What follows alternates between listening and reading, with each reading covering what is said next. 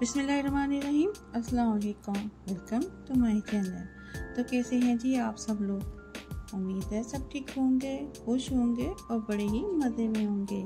तो आज हम अपने किचन में बनाने जा रहे हैं बहुत ही मज़ेदार chicken cheese shawarma sandwich recipe, जो कर बनकर इतनी मज़ेदार तैयार होती है कि जो खाएगा, हार नहीं रो पाएगा और आपकी तारीफ़ तो ज़रूर करेगा। बच्चे हों या बड़े, सबको ये बहुत पसंद आएगी। और ये खाने के बाद पिज़्ज़ा को तो भूल ही जाएँगे। और बच्चों को आप ये लंच में दें।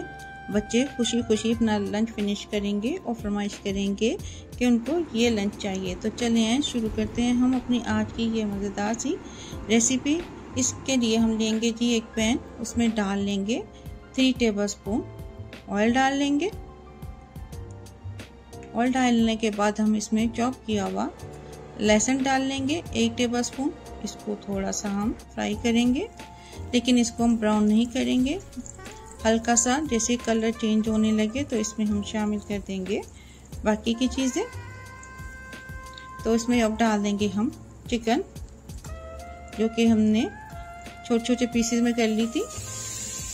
ये लिए जी हमने 250 ग्राम। इसको हम लहसुन के साथ फ्राई करेंगे। अब इसमें हम डाल देंगे नमक, एक टीस्पून। काली मिर्च डाल देंगे हाफ़ टी स्पून कुटी लाल मिर्च डाल देंगे हाफ़ टी स्पून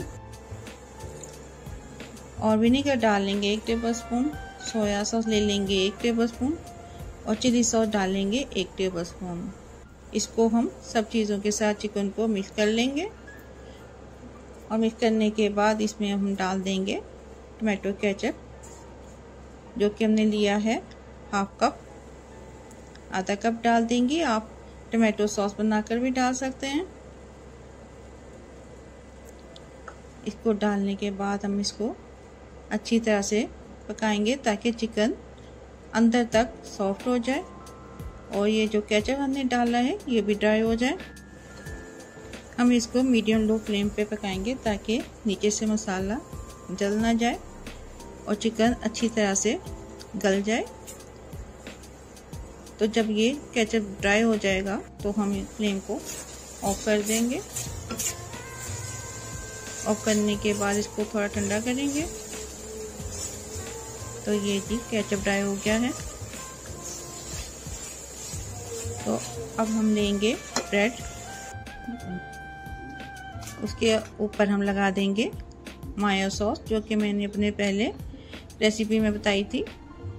उसके ऊपर डाल देंगे केचप उसके ऊपर हम डाल देंगे चिकन जो हमने फ्राई किया था।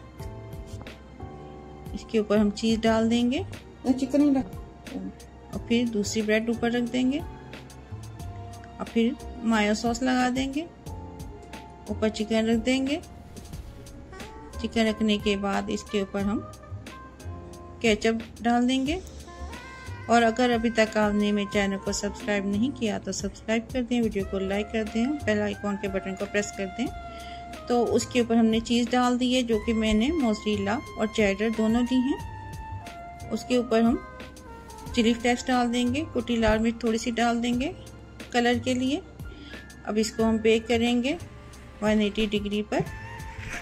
10 से 15 मिनट में ये तैयार हो जाता है। तो देखिए, माशाल्लाह देखने में ही इतना खूबसूरत है। और खाने में तो बहुत ही ज़्यादा लजीज है।